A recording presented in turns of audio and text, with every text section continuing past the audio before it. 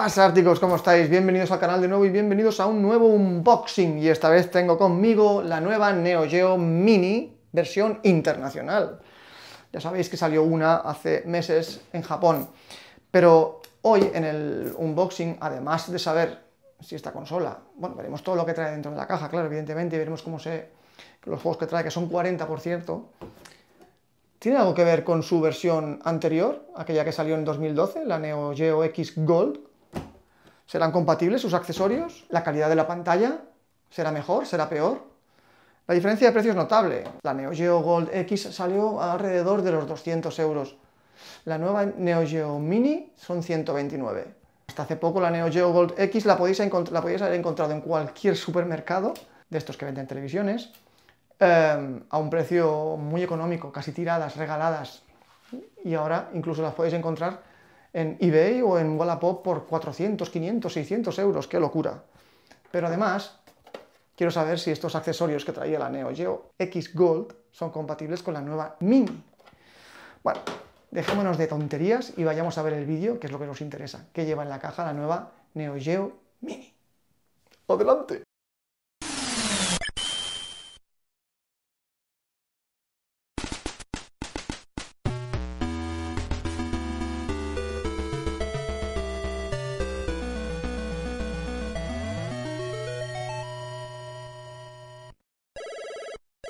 Tenemos la caja de esta edición internacional, 40 aniversario, en la que, bueno, pues bueno, vemos los juegos, unas imágenes de, del arcade o de la consola, no sé si llamarla portátil o, estacionaria o portable o no sé. Vamos a abrirla ahora, venga. Tenemos nuestro fantástico cúter que nos va a abrir el camino.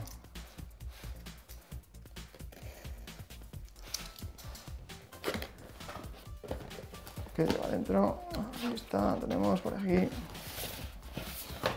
Ahí está, ¿lo veis? el interior de la caja. Un, poco, un poquito escaso, se han ahorrado cartón, polispan o cualquier cosilla para protegerlo más lo primero que sale es este manual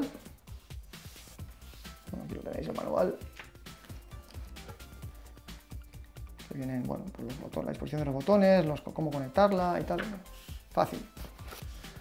Dejemos aquí el manual de instrucciones y pasemos a la consola. Es esto que tenemos aquí. Bueno, antes de ver la consola, vamos a ver por aquí hay otra cajita más. vamos a ver qué lleva dentro. Sorpresa. a ver, aquí tenemos, pues, bueno, aquí tenemos el cable de alimentación. Tenemos que utilizar un cargador estándar USB, pero en otro lado tenemos un USB tipo C, ahí está. Con el logo bien bonito de Neo Geo, muy bien, muy bien personalizado. La verdad es que todas las cajas, todo el, material que, que, tengo de Neo Geo siempre, siempre la, la calidad y el, y detalle está, está, está bastante bien. Y en este caso también, también está muy bien, sí señor. Bien, aquí tenemos la mini arcade, mini consola de sobremesa, retro. Acabado se ve espectacular, Pantalla de negro profundo, muy bien. Botones buen tacto. El joystick parece robusto. Un poco pequeño, pero bueno, a medida con la, con la máquina. Lo que sí que encuentro faltar, que no sé si, aparte de la calidad y tal, hubiera estado bien que Neo Geo, el fabricante o quien hubiera diseñado el equipo, hubiera creado una peana para poderla dejar en algún, en algún soporte más con más estilo arcade. Sé que no sería práctica para, jugar, pero a la hora de dejarla, podríamos dejarla en algún sitio en la habitación, en una estantería, quedaría la más de chula si tuviese una peana. A lo mejor sale algún fabricante por ahí que se construye una, o podéis construirla vosotros mismos, no sé, con cartón piedra, yo qué sé. Pero bueno, no estaría mal. A mí yo lo encuentro a faltar, me gustaría mucho. Bien, vamos a ver las conexiones que trae. A los dos lados trae dos tomas, también de USB tipo C parecen. Y, bueno, que pone aquí dos players One Player para poner los comandos que se venden por separado. ¿eh? En el momento que yo la adquirí no habían, estaban agotados, no entiendo eh, tanta locura, pero bueno, supongo que ahora a todo el mundo le va a salir la fiebre por jugar con sus amigos a esta mini consola. Por la parte trasera tenemos el botón de encendido, una salida HDMI out, que creo que es la mini, sí, es la HDMI mini, o sea que tenéis que tener cable especial, que no viene en la caja, ojo, cuidado. Una salida de toma jack de 3,5 estéreo estándar, para poder conectar unos auriculares y no molestar ni al vecino, ni a nuestra madre, ni a nuestros amigos o a nuestros hijos, mientras jugamos y gritamos de alegría cuando vencemos al malo de la última pantalla. Y, evidentemente, la toma USB tipo C para la carga, 5 voltios. Bueno, Supongo que debe ser 5 voltios esto, ¿no? Sí, 5 voltios, que es lo estándar para las tomas USB. Bien, pues aquí tenemos la maquinita, voy a enchufarla, em, dispongo la cámara de manera diferente para que veáis la pantalla y ver cómo, cómo, funciona. Y si encuentro por casa algún convertidor de tipo C a USB normal, probaremos el otro mando. A lo mejor hasta nos la cargamos. No creo. Venga, vamos a probar. Bueno, ya tenemos aquí todo lo necesario para conectar nuestra Neo Geo Mini el cable USB, aquí está. Vamos a probarlo. He encontrado por casa un cable estos de tipo C o, bueno, los que se llaman cables OTG. Probaremos a ver si el mando funciona, ¿vale? El de la X Gold. Bien, vamos a probar. Qué emoción, intriga. Insertamos el USB. Vamos a conectarlo por aquí. Un momentito, dejadme por favor. Aquí estamos. Le damos la vuelta. Vamos a conectar esto por aquí. Bien, ya tenemos el cable cargado. 40 mm, aniversario, bien. No sé si se estará grabando perfectamente con el... me he puesto una cámara estas de acción en el pecho para ver que si podéis ver alguna cosa. Bien, menú. Bueno, el primero que nos sale, Metal Slug. Perfecto, porque es el que a mí me encantaba. Perfecto.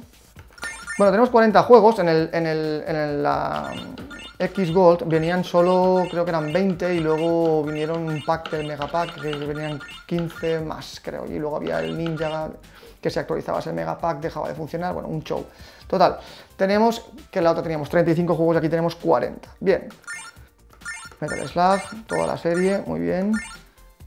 en, la otra, en la otra llegábamos solo, creo que hasta el 2.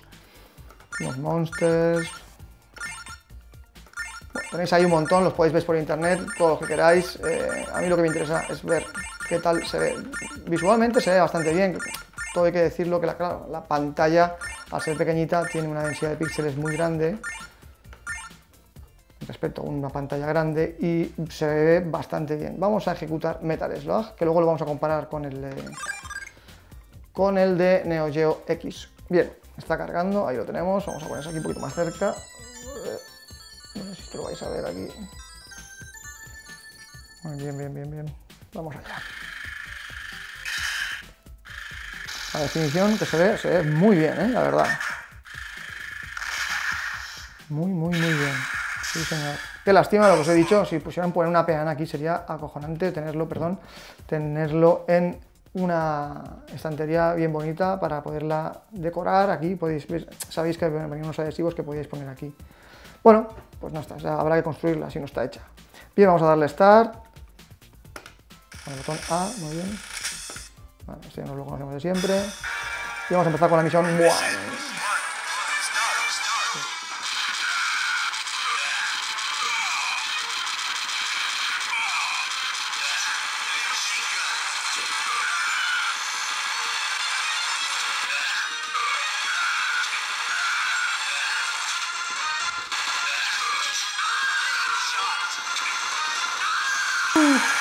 Adelante, muy bien.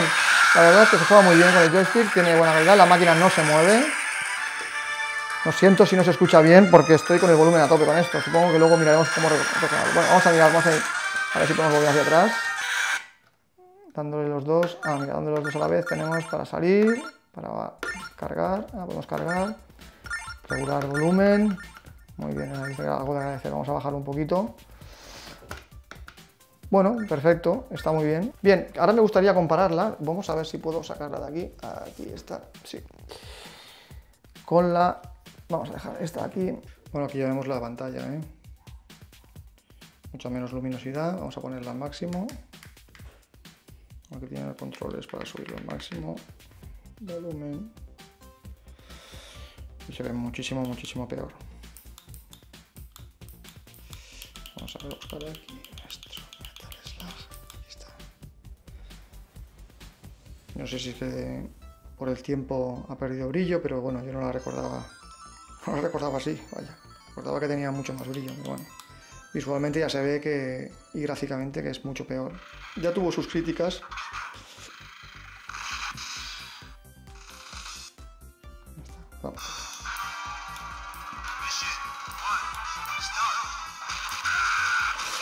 Bueno, visualmente vosotros no lo vais a notar, pero bueno, aquí se nota muchísimo.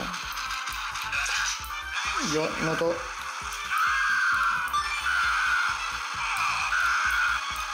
El control está bien, está también funciona bastante, ya funcionaba bien en su momento y tal, pero sí que visualmente y gráficamente eh, la Mini le da bastantes, bastantes, bastante repaso. Bien, bien, vamos allá, vamos a apagarla. La Neo Geo X Gold se ve bastante, bastante peor que la nueva Mini. Bien, muy bien, vamos a encenderla, qué ganas, ¿no? Muy bien. Eh, vamos a intentar probar esto que tengo por aquí, vamos a ver si entra primero. ¡Oh, no! Mi gozo en un pozo. Tendríamos que romperlo y no estoy tan desesperado. Eh, no, no, no, no, no, no cabe, no cabe. Bueno, lo que sí que podemos hacer, lo que voy a hacer ahora es va a probarla en la tele y compararla a ver una y la otra cómo se ven. Venga, vamos a ello. Bueno, ya estoy aquí de nuevo, ya tengo eh, por aquí un cable mini HDMI HDMI que además he recuperado de la Neo Geo X. Bien, ya tengo aquí el cable, vamos a conectarlo, ¿vale? Al puerto mini HDMI que tenemos por aquí y, qué curioso, vamos a ver. Ahí está. Uy, ha desaparecido la imagen de la pantalla y aparece en la pantalla del televisor. Uy, perdón, que he movido la cámara. Bien, Vamos a subir el volumen. A ver. ¿No podemos subir el volumen o qué? Un momento, vamos a configurar los settings del equipo. Una hora después. Dos horas después. Tres horas después. Bien, vamos allá. Bien, ya tenemos audio.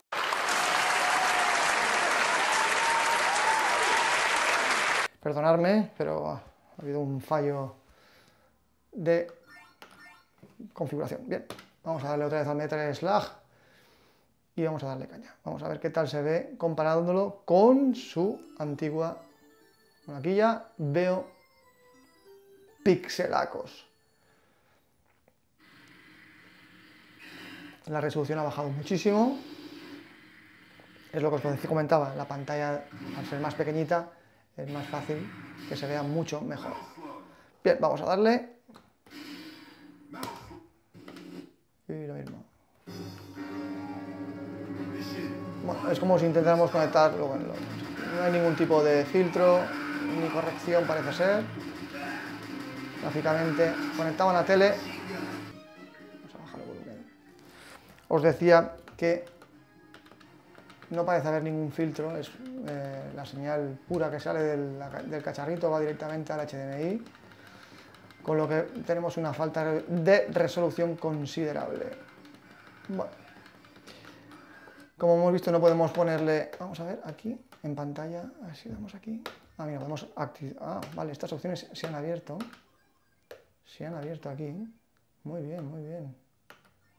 Vamos a ponerlo en resolución original. Vamos a ver qué tal ahora. Vale, aquí tiene el filtro típico que le ponen a los juegos de arcade antiguos, que es esa especie de cel shading que le hacen, suavizar los píxeles, vaya. La verdad es que mejora bastante. Vamos a probar de expandir la imagen. Hubiera preferido que le hubieran puesto opciones de tipo filtros monitor y tal, que da, a menos le da, ya que estamos haciendo un equipo, bueno, aquí no se ha abierto, ¿no? Esto parece ser, a ver, un momentito. En este caso no lo hemos expandido. Vamos a ver ahora qué hemos hecho ahí. Ah, sí, vale. Sí, hemos hecho un zoom, con lo que hay parte de la pantalla que perdemos. Bien, Vale, ahora vamos a hacer la prueba con su antecesora y veremos qué conclusiones sacamos. Ya tenemos montada aquí la, la X Gold. Vamos a... ¿Veis? Aquí la tenéis. No sé si sabéis cómo funcionaba, pero metíais dentro... Ay, perdón. Aquí que ya no me acuerdo. Hace tanto tiempo que no la saco. La introducimos aquí dentro. Cerramos y encendemos. No funciona. No funciona.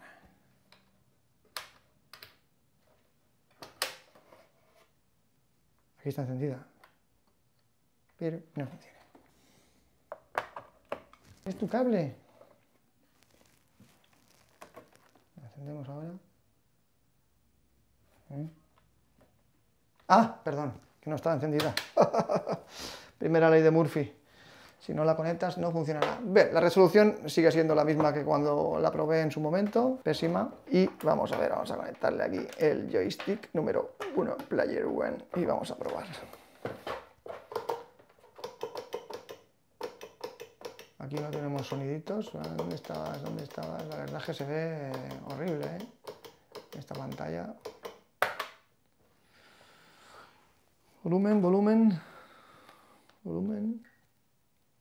Si suena algo. Sí. Bien, ya lo tenemos conectado. Ahí estamos. La verdad es que es más cómodo, evidentemente, jugar aquí. Vale, la resolución vemos que es exactamente lo mismo y además está recortada por debajo, igual que lo teníamos en, el, en la configuración que habíamos puesto en la mini para que nos ampliara la pantalla. Vamos a darle Aquí sí que no tenemos ninguna configuración. Uf, Dios mío.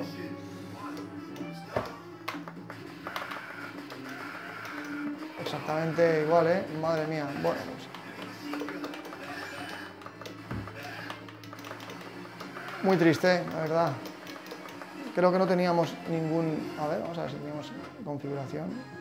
El menú. Podemos salir de aquí, menú. ¿Cómo salíamos? ¿Cómo salíamos? ¡Ah! ¿Cómo salimos? ¿Cómo salimos? ¿Cómo salimos? Vamos a apagarla. ¿Eh? ¿Tampoco se apaga? ¿No? Dios mío. Tampoco se apaga, Dios mío, no se apaga. Ah, ahora, vale. Inventos del TV, hay que darle a los dos interruptores. Vamos a darle a on y encendemos aquí.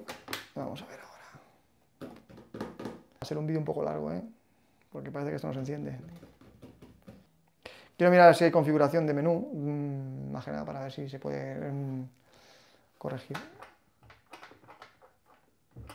Corregir lo que vemos aquí, pero yo creo que no, que no tenía ningún tipo de corrección. Bueno, pues nada, eh, lo dejamos aquí porque esto es horrible, ya lo habéis visto, se ve fatal. Comparado con la Mini se ve fatal, o sea que la Mini gana en todo. Mm, eh, podríamos decir que la Neo Geo X sería eh, más como para tener la caja de forma de Neo Geo, ya está. Pues nada, espero que os haya gustado el vídeo, espero que tengamos la oportunidad de hacer más pruebas, pronto vendrá la PlayStation y la Mega Drive. Hasta pronto amigos, adiós.